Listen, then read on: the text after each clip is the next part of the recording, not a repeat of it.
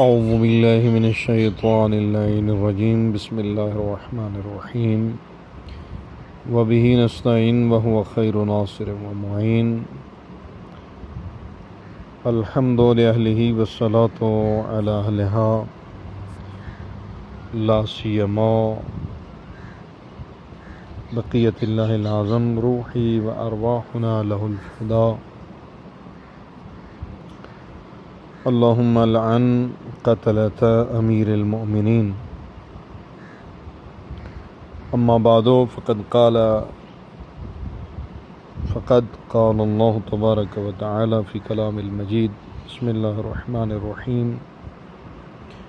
وما لي لا أعبد الذي فطرني وإليه ترجعون.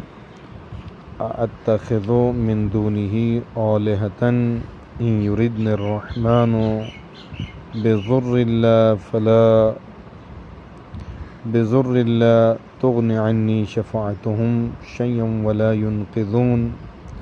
إني إذا لفي ضلال مبين. إني آمنت بربكم فاسمعون. قيل ادخل الجنة قال يا ليت قومي يعلمون.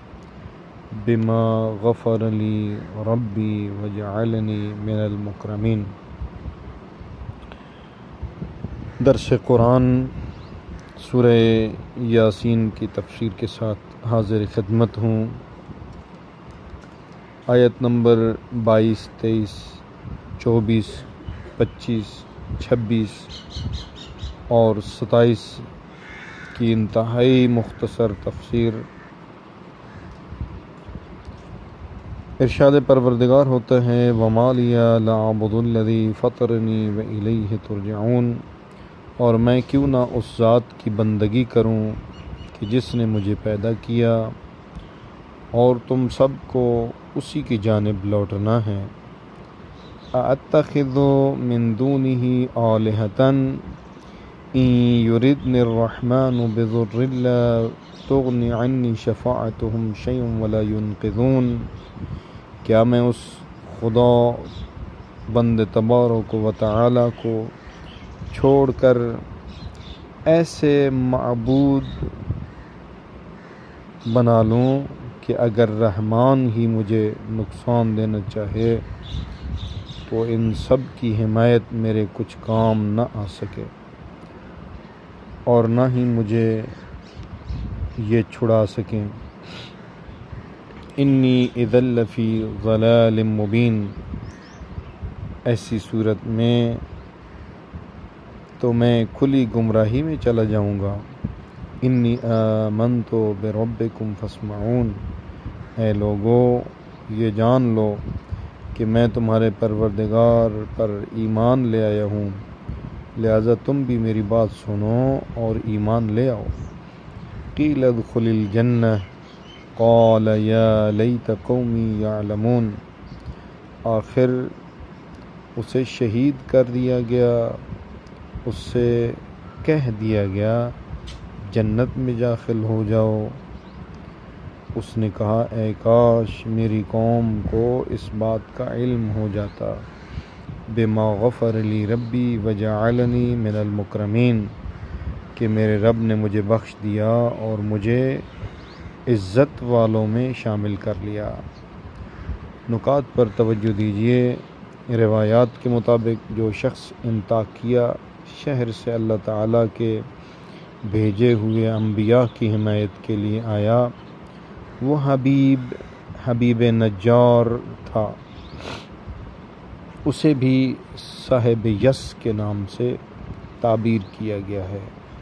بالآخر اسے شہید کر دیا گیا۔ اس کا شمار ان لوگوں میں ہوتا ہے جو مومن آل فرعون تھے اور انہوں نے حضرت موسیٰ کی حمایت کی تھی۔ آج انتاکیہ شہر ترکی کے دو شہروں حلب اور اسکندریہ کے درمیان واقع ہے۔ بیت المقدس کے بعد یہ دوسرا شہر ہے جو عیسائیوں کی توجہ کا مرکز ہے۔ تو پیغامات توجہ سے سماعت فرمائیں۔ پہلا پیغام ان آیات مجیدہ کا یہ ہے، جو خالق کائنات کے حضور بندگی نہیں کرتے، وہ اپنے ضمیر کی عدالت کے مجرم ہوتی ہیں۔ ومالیہ لا آبدو نمبر دو عامر بالمعروف کی ایک روش یہ ہے کہ اس میں خود کو مخاطب قرار دیا جاتا ہے۔ ومالیہ لا آبدو نمبر تین، خدا سے دوری اختیار کرنے اور شرک کرنے پر تنقید اور اعتراض کیا جا سکتا ہے، لیکن توحید اور خدا پرستی پر نہیں، کیونکہ یہ تو فطری ہے۔ ومالیہ لا اعبد الذی فطرنی نمبر چار دوسروں کو دعوت دینے کا ایک راستہ یہ ہے کہ اپنے منطقی اعتقادات کو بیان کیا جائے۔ ومالیہ لا اعبد الذی نمبر پانچ، عبادت کرنے کا ایک فلسفہ یہ ہے کہ ولی نعمت کا شکریہ ادا کیا جائے۔ الذی فطرنی نمبر چھ، مبدا اور معاد، آغاز اور انجام۔ پر توجہ مرکوز رکھنا در اصل توحید و بندگی کا سرچشمہ ہے۔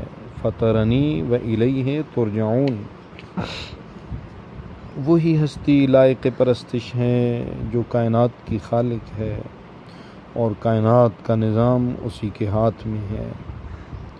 بس سب نے اسی کی طرف واپس پلٹ کر جانا ہے۔